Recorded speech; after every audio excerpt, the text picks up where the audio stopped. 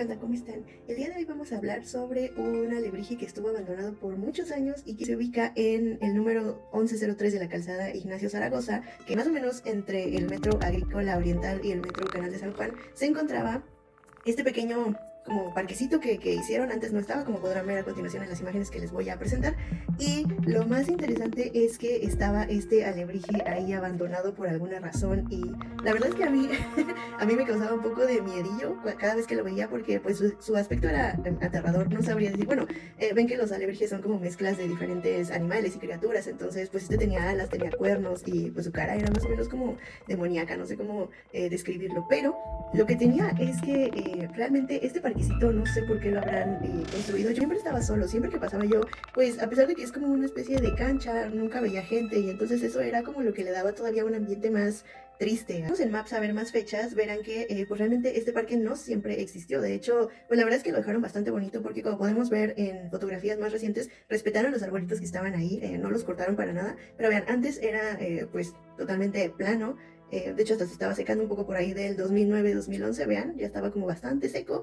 Y pues fue a partir del 2015 cuando pusieron la barda, pero fue hasta 2016, aquí lo pueden ver en junio de 2016, cuando empezaron a construir, eh, pues este que es como una especie de auditorio y por acá también hay como em, una especie de almacén que actualmente ya está como abandonado y bastante descuidado, pero bueno, fue hasta 2016 cuando empezaron a construir, eh, pues está como, no sé si decirle parquecito, placita, porque pues solamente es como este tramo. Y como les decía, eh, están las canchas y siempre que pasaba yo por ahí todo estaba absolutamente eh, pues solo. Y más tardaron en construir esto cuando en diciembre, que es tan solo unos meses después, ahí podemos ver que ya estaba este alebrije eh, abandonado. Yo lo que imagino es que probablemente sería pues de los que van al concurso de, de los alebrijes, a la exhibición que, que, es por ahí de octubre, noviembre, siempre en la Ciudad de México y pues tendría sentido que fuera de ahí porque quizás lo, lo, o sea, como es tan difícil transportarlos, me imagino que no hubo dónde dejarlo y pues provisionalmente lo pusieron ahí. Como pueden ver, apenas terminaron el lugar y ya estaba ahí. De hecho, por acá se puede ver todavía que estaba algunos escombros.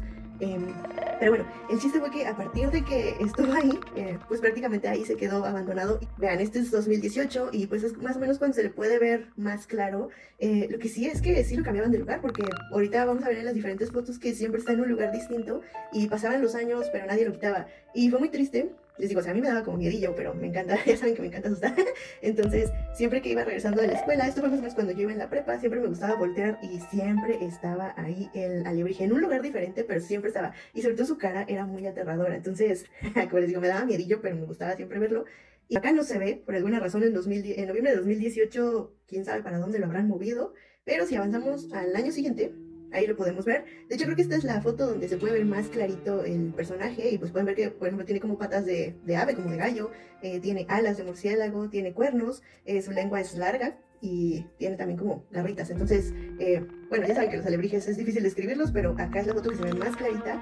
Y pues vean, eh, lo triste fue que con el paso de los años, pues obvio, ¿no? A pesar de que está techado, eh, pues la humedad, las lluvias, los cambios de temperatura, etcétera, lo fueron deteriorando y eso hacía que todavía se viera más aterrador porque el 2021 todavía estaba aquí cuando ya fue lo de la pandemia. Esto es muy triste. Eh, acá en octubre de 2021, la verdad es que el deterioro ya era demasiado y pues como lo pueden ver aquí ya está pues tirado, ya no, no, sus soportes se vencieron y pues les digo, realmente en las imágenes de acá no se alcanza a apreciar muy bien, pero cuando tú pasabas en el camino podías ver cómo cada vez se iba desgastando la pintura, el papel se iba, eh, pues como, e, era papel mojado, obviamente, entonces también se empezaba a caer a pedacitos. Y pues acá es muy triste esta foto porque pueden ver cuánto tiempo pasó, eh, desde 2016 que lo abandonaron hasta el 2021 que eh, extrañamente lo movían, sí, pero pues nadie se lo llevó. en septiembre de 2022 que ya no se le ve, pero en, en esta foto es triste, sí, pero eh, no, es, no está tan actualizada, chicos, porque pueden ver de octubre de 2021 a septiembre de 2022, pues hay prácticamente un año de diferencia.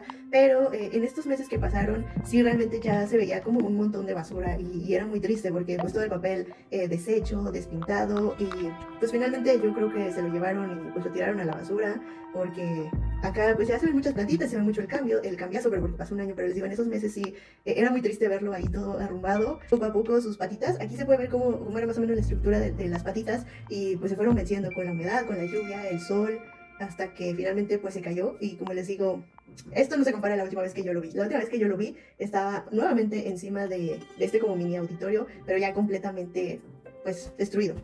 Y bueno, eh, cuéntenme si ustedes también viven por acá o han pasado por acá en, en, esos años y también lo recuerdan haber visto, si saben algo más de por qué estaba ahí o de su historia, pues cuéntenlo en los comentarios. Fue muy triste cómo terminó este pobre alebrije. Saludos.